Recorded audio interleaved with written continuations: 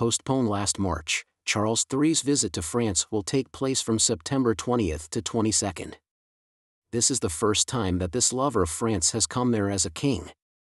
The state visit, cancelled for the first time in March, will be shared between Paris and Bordeaux. The program has hardly changed since last spring. The visit of the new English monarch was scheduled for March 26 to 29, 2023, but had to be cancelled in a very volatile social climate. The mobilization against pension reform was then at its peak, and several public outings seemed threatened. The first state visit of Charles III, King of England since the death of Elizabeth II on September 8, 2022, finally took place in Germany a few days later.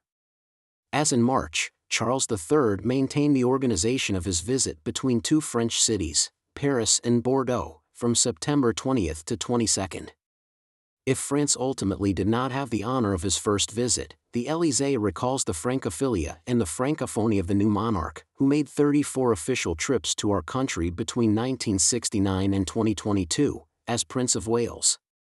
Charles III and Emmanuel Macron, accompanied by Camilla Parker Bowles and Brigitte Macron, will begin the state visit under the Arc de Triomphe, with a rekindling of the flame, with a laying of wreaths on the tomb of the unknown soldier.